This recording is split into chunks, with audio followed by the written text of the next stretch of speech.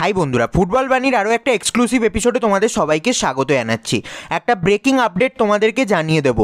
খুব একটা ভালো খবর অবশ্যই নয় আইএসএল এর রেসপেক্টে মুম্বাই সিটি এফসির অত্যন্ত গুরুত্বপূর্ণ ইয়াং ফুটবলার তেইশ বছর বয়সী লেফট ব্যাক ভিগনেশ দক্ষিণা মূর্তি খুবই ভালো ফুটবলার লাস্ট সিজনেও খুবই ভালো পারফরমেন্স দিয়েছিলেন মুম্বাই সিটি এফসির হয়ে। তো সেই ভিগনেশ দক্ষিণা মূর্তি মুম্বাই সিটি এফসির প্রথম ম্যাচ অর্থাৎ এফসি গোয়ার এগেনস্টে যে ম্যাচটা হয়েছিল, সেই ম্যাচে কিন্তু চোট পেয়েছিলেন।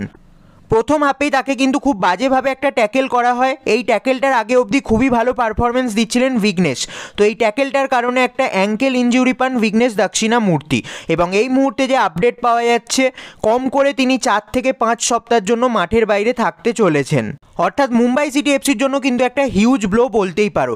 অত্যন্ত ভালো ফুটবলার এবং গুরুত্বপূর্ণ ফুটবলার ছিলেন মুম্বাই সিটি এফসির এই স্কোয়াডে তাকে কিন্তু মুম্বাই সিটি এফসি মিনিমাম চার থেকে পাঁচ সপ্তাহ মাঠে পাচ্ছে না।